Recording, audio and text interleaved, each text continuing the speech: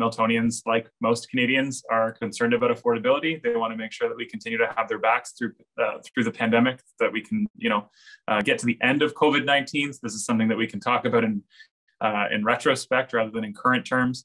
Um, but then there's always the the important social issues of, um, of fighting racism and making sure that we get that anti-hatred bill passed as quickly as possible, as well as uh, bringing back Bill C6 to end conversion therapy in Canada. Uh, I remain laser focused on commitments with respect to fighting climate change and ensuring better outcomes for Indigenous people. Um, housing affordability is a, is a huge concern, primarily for Canadians who are currently not in the market, um, in the housing market, Canadians who are, uh, who are renting, who feel exploited, uh, and people who want to buy their first home and can't.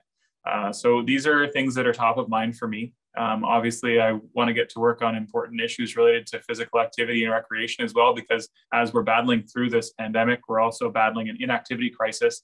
And uh, we've got to make sure that Canadians feel safe getting back to play, to sport, uh, and, and regain their physical and mental health that comes with that. And that is especially true for kids and young people. And, and Milton being such a young riding with so many kids who want to uh, maintain and, uh, and improve their, their physical and mental health uh, physical activity is just one of the many ways to do that. So uh, I know that's a long list, uh, but there's a lot of work ahead, and it's certainly not, um, you know, it's certainly not limited to that list. There's lots more to do. Um, but first and foremost, we got to fight and get rid of COVID-19, ensure that there's vaccines and boosters for everybody uh, who needs them.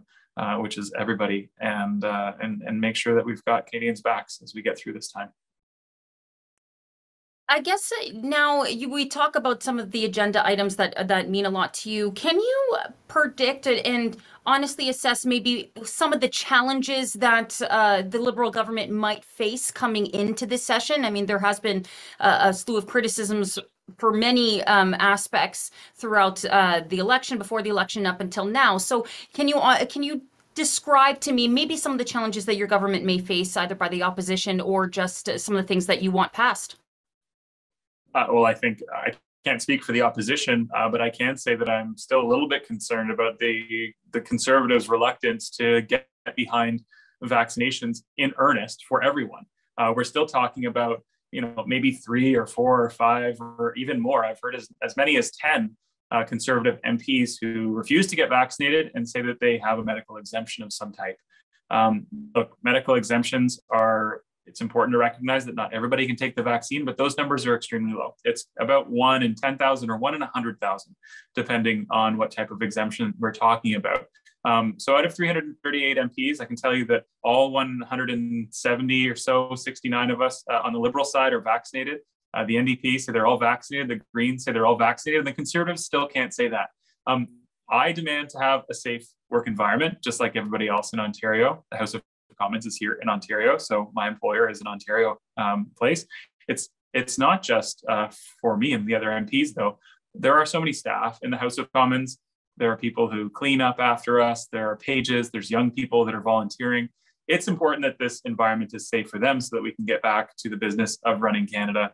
Um, but I also think it's really important that MPs are ambassadors and leaders in their community. And we know that you know most of Canada is not in a lockdown situation right now because of vaccines, uh, because of the power of modern science, and because of Canadians' uh, willingness to go and get their shot. And uh, just this past weekend, I went to a, a drive-through clinic in Milton to get my flu shot.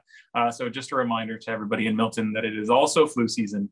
Uh, so go out and get your flu shot and keep protecting our community um, because it's more important now than ever that we reduce the load on our healthcare system, which has been extraordinary.